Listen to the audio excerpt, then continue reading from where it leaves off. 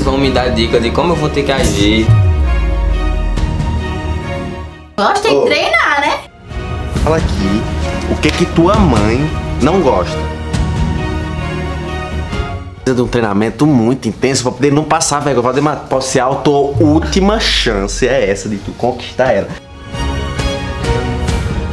Então tu tem que se dar bem pra quando chegar o jantar, tá formalmente bem vestido e formalmente bem na fala. Eu não vou falar nada.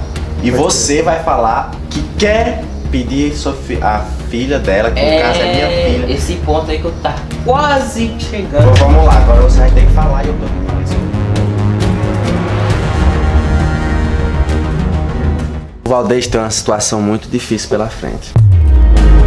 Ele tem que saber se comportar, tem que saber falar, tem que saber não gaguejar, né?